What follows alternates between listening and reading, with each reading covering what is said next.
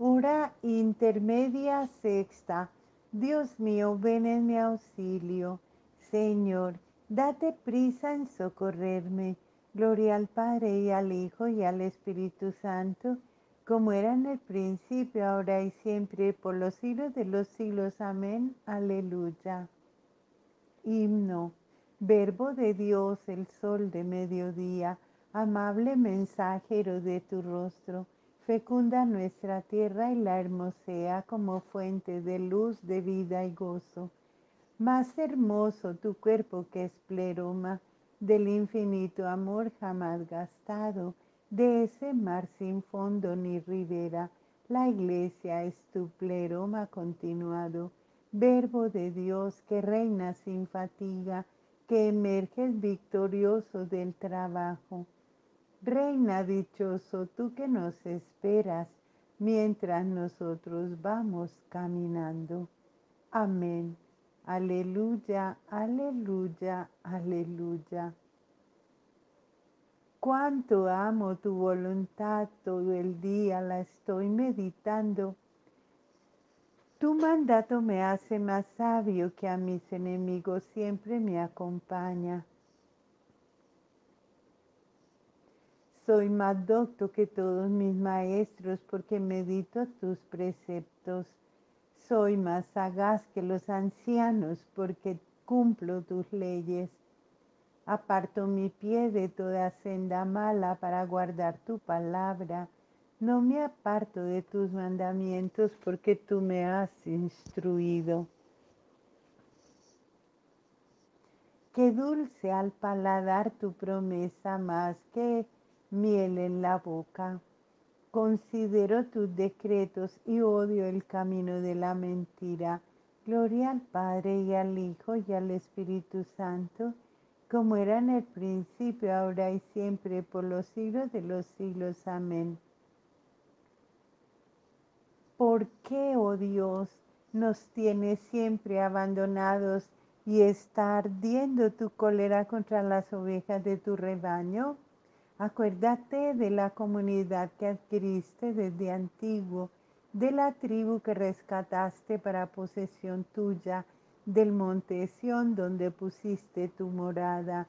Dirige tus pasos a estas ruinas sin remedio.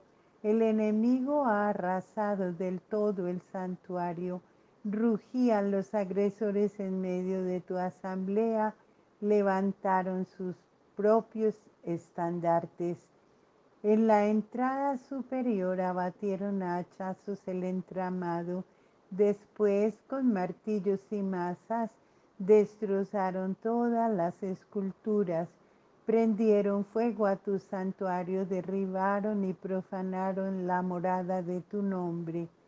Pensaban, acabaremos con ellos, e incendiaron todos los templos del país.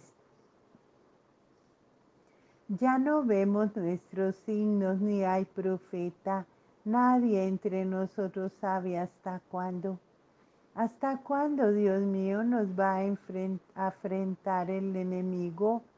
¿No cesará de despreciar tu nombre el adversario? Porque retraes tu mano izquierda y tienes tu derecha escondida en el pecho.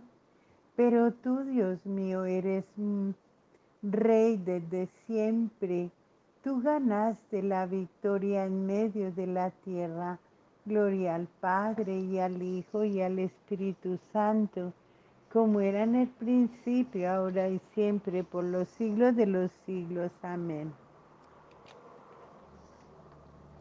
Tú hendiste con fuerza el mar Rompiste la cabeza del dragón marino, tú aplastaste la cabeza del leviatán, se la echaste en pasto a las bestias del mar.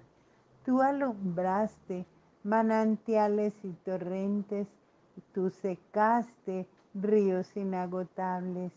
Tuyo es el día, tuya la noche, tú colocaste la luna y el sol Tú plantaste los linderos del orbe, tú formaste el verano y el invierno.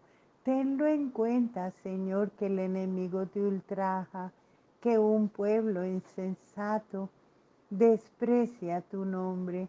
No entregues a los buitres la vida de tu tórtola, ni olvides sin remedio la vida de tus pobres. Piensa en tu alianza, que los rincones del país están llenos de violencias, que el humilde no se manche defraudado, que pobres y afligidos alaben tu nombre.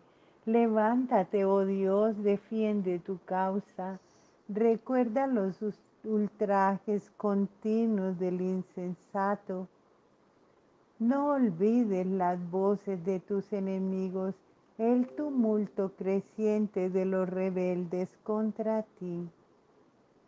Gloria al Padre y al Hijo y al Espíritu Santo como era en el principio, ahora y siempre, por los siglos de los siglos. Amén.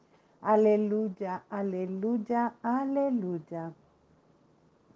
Lectura de la primera carta de Pedro.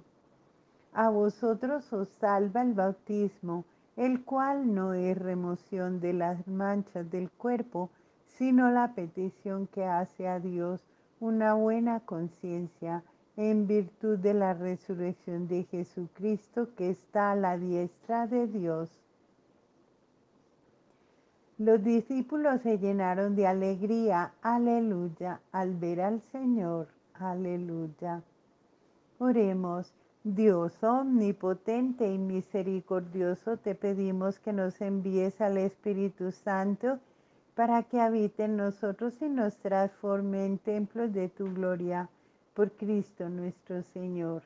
Amén. Bendigamos al Señor, demos gracias a Dios.